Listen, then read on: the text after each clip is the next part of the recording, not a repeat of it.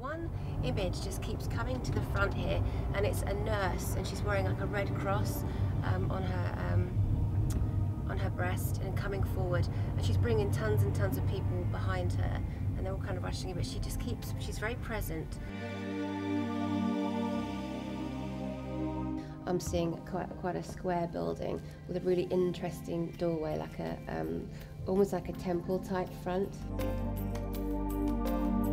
And uh, there's kind of those, you know, the dome I spoke about, which you said was in the building or isn't in the building. There is a dome in the building. So a lot of study was done here. A lot of the, say, actors, for example, have sat reading. Okay, you, you want a location, don't you? And I know I'm inside a theatre building, and I'm going to assume it's a very famous theatre building. That's correct. Know.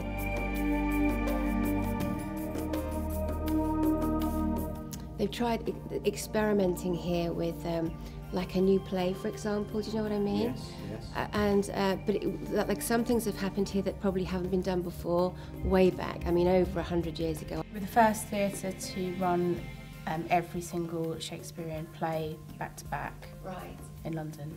And she's bringing tons and tons of people behind her, and they're all kind of rushing in, but she just keeps. She's very present. She's just there the, whole- the whole time. I kept getting this nurse coming to me in the taxi, like with wearing a red cross on her. Someone in the performance shouted fire and they panicked and started running Yeah. and um, I think it's 160 people died.